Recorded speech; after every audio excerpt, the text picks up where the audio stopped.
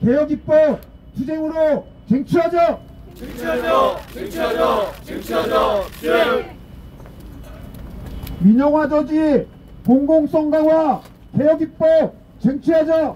쟁취하자! 쟁취하자! 쟁취하자! 쟁! 일하다.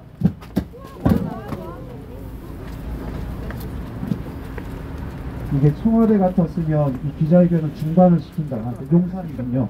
중단을 시킨다고요. 근데 저희는 그렇게 하지 않습니다.